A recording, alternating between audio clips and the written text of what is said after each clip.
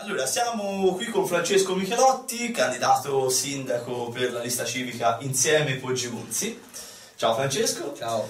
Ciao ehm, partiamo come nostra consuetudine con una presentazione tua personale e con eh, un, eh, diciamo, una piccola introduzione sulla tua eh, passione eventuale per il calcio eh, e in particolare per il calcio locale, nello specifico anche per il Poggimunzi. Sì, intanto grazie eh, di avermi ospitato e avermi invitato. Eh, beh, su di me due parole brevi. Eh, 31 anni, faccio l'avvocato di professione, la passione vera è per il calcio fin da bambino.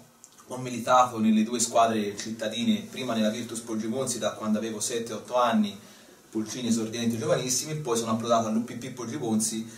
Eh, e quindi diciamo, fino a 18-19 anni, poi per motivi di studio ho, all'università ho, ho lasciato per, per scelte diciamo, personali, però è, è, chiaro che il calcio è rimasto la mia grandissima passione, seguo attualmente, il rapporto nel calcio locale è sempre stato sicuramente un rapporto forte, io ricordo bene la prima volta che mio nonno, che purtroppo è venuto a mancare due anni fa, mi portò allo stadio qui a vedere il Poggiomonzi, mi ricordo il Poggiomonzi di, di Cecchini, di Menchetti, di Sbrega, Belluzzi, be bellissimi tempi che mi è rimasto nella, nella, mente a tantissimi anni di distanza, credo siano passati quasi 20, 24, 25 anni fa. Si eh, un meno, forse un po' meno, eh, insomma. si sta parlando anche di un periodo di un'altra epoca, però ecco, è un periodo che mi ha segnato e quindi da, quella, diciamo, da quel momento, da quei miei pomeriggi di domenica con mio nonno, io ho maturato sicuramente un affetto nei confronti di questa squadra. Devo dire, mio malgrado, che poi sono rimasto anch'io vittima purtroppo del calcio moderno e quindi diciamo della pay tv e del calcio a pagamento e quindi purtroppo come molti di noi la comodità del divano prevale troppo spesso su quello che è poi l'ambiente stadio, anche se devo riconoscere che eh, il clima che si respira nello stadio qualunque esso sia, dovunque tu vada, è un clima insostituibile, impareggiabile, ineguagliabile. Ben diverso. Ben assolutamente diverso. Io il calcio, per chi lo ama, per chi ha una passione vera come la mia, io mm, non lo nascondo, tanto è noto che sono un tifoso della Juventus eh, a livello nazionale, per cui è chiaro che... Anche gli occhiali bianco-neri anche, eh, nascondono. Infatti, infatti, quindi non, non, non faccio mistero di questo. Però è chiaro che, insomma, ecco, segue il calcio in tutte le sue manifestazioni, quindi insomma dal calcio internazionale, insomma tutto, tutto, tutto quello che, che, che, posso vedere, che la mia fidanzata mi permette di vedere, mettiamola così, eh, lo vedo e quindi anche il calcio locale che seguo quando posso. E ovviamente allo stadio la mia presenza non è una presenza assidua, però eh, seguo il Poggiomonzi e purtroppo anche nelle vicissitudini eh, recenti che ci hanno visto purtroppo. Sì, eh, infatti arriviamo subito alle note dolenti che sono quelle di carattere sportivo purtroppo del, del Poggimonzi che eh, domenica scorsa è retrocesso matematicamente in Serie D. Eh, il futuro non sembra roseo assolutamente con eh, il presidente Pianigiani che da tempo eh, dichiara di voler andare via in caso di retrocessione, retrocessione che è avvenuta, quindi eh, diciamo questo spettro di dover eh, eventualmente trovare eh, una nuova società o nella, nella, peggiore delle ipotesi dover ripartire dalle, dalle, categorie inferiori come è già successo ai noi qualche anno fa è eh, molto forte. Eh, è chiaro che ci aspetterà un'estate molto calda, eh, il nuovo sindaco si eh, instaurerà diciamo, eh, a breve, diciamo, quindi è un tema che sicuramente sarà molto caldo per il nuovo sindaco. Quindi diciamo che sul tavolo del sindaco ci dovrà essere anche il Porgimone. Ecco, su questo vorrei una tua opinione in generale, anche sul, su, su eventualmente come affrontare eh, la situazione Pianigiani nel caso dovesse lasciare sì, sì, quindi io dico allora, intanto credo che per troppo tempo e per troppi anni sul tavolo del sindaco e dell'amministrazione non c'è stato la questione Polgimonzi, squadra locale, sport in calcio in generale e questo sicuramente è, eh, lo abbiamo visto perché la retrocessione è un risultato figlio non soltanto della gestione pianigiani o comunque di tutto quello che è accaduto in quest'anno, ma anche di un'assenza colpevole dell'amministrazione. Dunque, per quanto riguarda la domanda, diciamo, nell'analisi di quello che è stata la stagione, è chiaro che dobbiamo fare chiarezza e il presidente Pianigiani ci deve dire subito quello che ha intenzione di fare. A questo proposito approfitto anche dell'invito per dire che noi come lista insieme con Ceponzi abbiamo chiesto e chiediamo anche in questa sede un incontro con il presidente Antonio Veneciani quantomeno per dire, chiarire un po' gli aspetti sul futuro, perché non è che ci vergogniamo di, di, dire che siamo preoccupati e anche io come candidato a sindaco, visto che ci candidiamo a governare, a amministrare la città, vogliamo chiarezza sul futuro, quindi tanto capire cosa ha intenzione di fare, se lascia, se resta, eccetera, ma soprattutto se rimane o, o chi verrà, capire qual è il progetto, perché non basta dire sì, vabbè, tiriamo avanti in un modo però così mh, alla giornata, noi dobbiamo visto che la retrocessione è comunque è qualcosa di purtroppo di importante, dobbiamo fare conti con sì.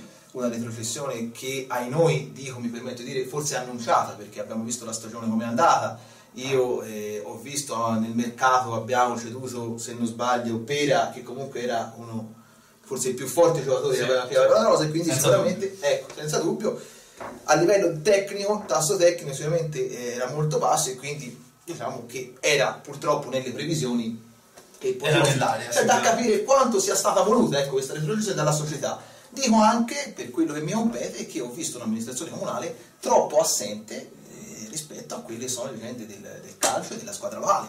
Ma non da quest'anno ma da diversi anni ormai. Vedo che questa, questa società, il, diciamo, il, il calcio il locale, è visto non come una risorsa o come un'opportunità, come secondo me è o dovrebbe essere, ma come un fastidio, come un qualcosa che purtroppo è lì e che dobbiamo in qualche modo gestire. Ecco, ora non so se ti riferisci nello specifico a qualcosa, eh, il tema sicuramente più spinoso degli ultimi mesi eh, riguardo il rapporto fra amministrazione comunale e US Poggiomonzi è quello relativo all'impianto eh, dello Stefano Lotti. Eh, lo stesso Presidente ha denunciato più volte una mancanza di forte interesse dell'amministrazione sul voler risolvere questo problema e eh, anche questo eh, sarà sicuramente un argomento da, da affrontare per, eh, per, il nuovo sindaco, sia per la convenzione che per forza di cose deve essere rinnovata di anno in anno, sia perché comunque questo stadio in una ipotetica Lega Pro Unica, che non ci vedrà il prossimo anno, ma magari ci potrebbe vedere protagonisti in futuro, sicuramente questo stadio non potrebbe essere disputata, questa è una certezza. Quindi ecco, ehm, pensiero eh, da parte tua anche su, proprio nello specifico sulla struttura Stefano Guarda, Lotti e su tutti i progetti futuri. Quando parlo dell'assenza dell'amministrazione non mi riferisco ovviamente al fatto che l'amministrazione comunale debba andare a ingerire nelle scelte tecnico-tattiche, mi riferisco proprio alla, alla questione del calcio in generale quindi a toccare con mano poi quello che è le strutture. L'ammodernamento dello stadio è una questione, è la questione, è la questione centrale, è la questione, è il problema, perché i soldi noi ci diranno i soldi ce l'hanno detto, ce lo diranno anche in questa campagna elettorale, non ci sono, non ci sono stati, non è vero, perché i soldi ci sono stati, c'erano, ora ce ne sono molti meno, ma sono stati spesi altrove, perché sono state fatte altre strutture sportive, sono state fatte tante altre cose e quindi diciamo, lo stadio non è stata ritenuta una priorità da parte dell'amministrazione uscente. Quindi questo è un risultato, è pacifico, è oggettivo, non è un'opinione. Credo che il rilancio di una squadra locale passi necessariamente per l'ammodernamento della struttura quindi ora noi siamo alle prese con una struttura che risente sicuramente di una mancata manutenzione, quindi dobbiamo iniziare in qualche modo a mettere le toppe, però dobbiamo fare un ragionamento più nel lungo periodo, un ragionamento più di ampio respiro, perché se noi vogliamo una squadra e avere l'ambizione di avere una squadra cittadina che nel medio-lungo periodo possa ambire a qualcosa di più, questo passa sicuramente per l'ammodernamento dello stadio. Io mh, non voglio fare, come dire, però la Juventus ha aperto un ciclo negli ultimi tre anni di vittorie, secondo me, non tanto e non solo per quello che ha saputo fare a livello tecnico-tattico, ma anche perché ha investito nella struttura, lo stadio di proprietà. Sono convinto che lo Juventus Stadium rappresenti una, un pezzo importante nella, diciamo, nel cammino che quella squadra ha fatto, e così come anche da tante altre squadre, credo in Germania questo rappresenti un po' la regola. Per cui io dico, non ovviamente lo stadio di proprietà è inimmaginabile in questa fase, però un'amministrazione comunale un assessore allo sport che eh, fa un piano anche nelle opere pubbliche e decide in modo chiaro, in modo serio, ragionando con la società, con i tifosi, di ammodernare la struttura, questo secondo me va nella logica e nell'ottica di un rilancio di tutta la società. Quando dico ammodernare la struttura, dico che non si può pensare soltanto allo stadio come spogliatoio campo, ma in una struttura dove ci siano negozi sportivi, marketing, le sedi delle associazioni tifosi, le sedi delle associazioni sportive, insomma una cittadella dello sport in piena regola che in qualche modo possa finalmente rilanciare qualcosa che purtroppo ai noi è, in questo momento è flebile, è quasi morto. Certo, a proposito di questo, eh, Pianigiani eh, in persona ha sostenuto più volte di aver presentato lui stesso un eh, progetto di questo tipo, eh, progetto che tra l'altro io ho anche visto con i miei occhi, devo, devo essere sincero, quindi sicuramente non, eh, non si è inventato nulla. Mh, mm, poi non sappiamo bene che fine abbia fatto eh, questo, questo, progetto. Dopo la presentazione all'amministrazione comunale c'è stato anche un, uno scambio di articoli di giornale, interviste eh, non, propriamente, non, propriamente, benevole fra eh, il vice sindaco Minutella, che è anche l'assessore allo sport, e Pianeggiano a suo tempo, e andava proprio in questa direzione qui. Quindi pensi che sia questa la, la strada da, da, da percorrere, cioè ehm, una struttura da eh, rivalorizzare, un'area da rivalorizzare in questo senso. Sì, sì, e credo che l'amministrazione comunale si debba fare parte diligente nel, non solo nell'accompagnare la società, eccetera, ma proprio nel promuovere, cioè fa, nel promuovere dico magari cercare anche altri investitori, perché l'assessore allo sport, il vice sindaco, è stato inerte nella, nella gestione, si è limitato a gestire, a tenere buono il presidente, la società e i tifosi. Questo perché? Perché questo ambiente è visto non come un'opportunità, una risorsa, ma come un fastidio, un qualcosa che va gestito perché ci sono anche loro e quindi dobbiamo gestire anche loro. Noi crediamo, crediamo che invece, siccome lo sport rappresenta il calcio nella fattispecie, una delle industrie più importanti a livello nazionale perché intorno a questo mondo ruotano soldi, ruotano opportunità, sponsor, eccetera, è chiaro che un'amministrazione che ragiona in questa fase diciamo, di vacche magre, questa fase in cui la crisi purtroppo ha colpito anche le nostre, le nostre aziende, il nostro territorio, lo sport, il calcio rappresenta un'opportunità indiscussa. Quindi l'amministrazione deve agire e fare un tavolo, io abbiamo proposto anche nel programma, un tavolo permanente tra società, tifosi e l'amministrazione comunale, non un tavolo che si riunisce soltanto quando eh, c'è la retrocessione, quando c'è un problema, il tavolo deve essere permanente. Deve non essere, in caso di emergenza. Non in caso di emergenza, un tavolo permanente in cui l'amministrazione convoca le parti, i soggetti e cerca di, fare, certo. di promuovere appunto queste, queste situazioni. Parlavi di investimenti e questa è un'altra nota dolente. Eh, quest'anno la mancanza dello sponsor dell'MPS che ci ha permesso per anni eh, diciamo certamente di mantenere eh, il calcio professionistico a Poggi Monzi è venuto a mancare, infatti abbiamo subito visto il risultato. Eh, pensi che in futuro, a breve termine o, o a medio o lungo termine, ci possa essere spazio per una riapertura di MPS eh, in questo senso, sull'USPG Mozio in generale, comunque sulle sponsorizzazioni sportive che al momento sono, per quanto ne so, bloccate, o comunque altre possibilità, no? anche al di là di MPS, di sponsorizzazioni di aziende o istituti di credito che possono essere interessati a, a veicolare la propria immagine attraverso il calcio. Allora, io credo che la maglia del Poggimozzi sia un ottimo volano anche per le aziende del territorio, quindi credo che le aziende del nostro territorio, le eccellenze, perché poi abbiamo anche delle eccellenze, penso al Chianti, penso alle aziende vitivinicole, possano e debbano fare della, di questo ambiente della maglia del Poggibunzi un un'ottima sinergia e quindi penso ci siano delle opportunità inesplorate e inespresse. Credo altresì che continuare a pensare di percorrere, di coltivare diciamo, il filone MPS sia assolutamente utopico perché eh, conosciamo bene la vicenda del Monte dei Paschi su Siena, ne abbiamo parlato noi miliardi di volte, eh, le colpe, le responsabilità politiche da parte della classe politica eh, dirigente attuale e quindi anche dell'amministrazione uscente sono fortissime.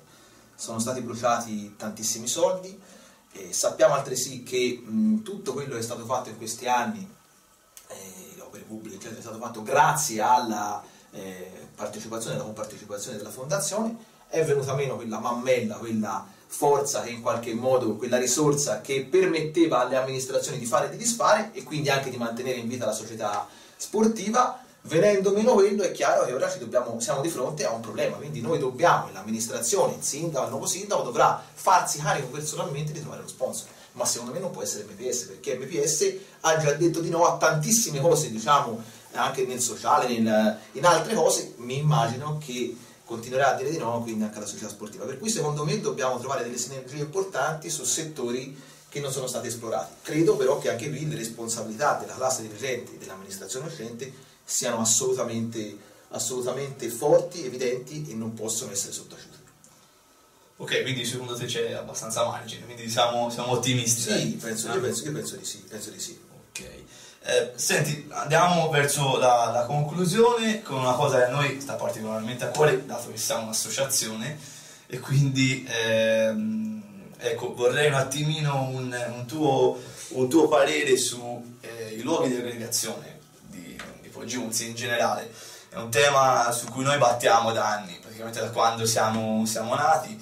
Eh, a nostro modo di vedere è una mancanza che c'è nella nostra città. Quindi mancano dei luoghi dove il grande associazionismo cittadino, Poggiunzi è pienissima di associazioni ed è da questo punto di vista quasi una città modello, ehm, non hanno, a nostro modo di vedere, grande spazio per, per le proprie attività. Ma Spesso guarda, sono soffocate da questo. Non, E, non tutte, quelle che come dire in qualche modo sono più vicine a determinate logiche, a determinati ambienti politici, lo spazio glielo danno, te l'assicuro.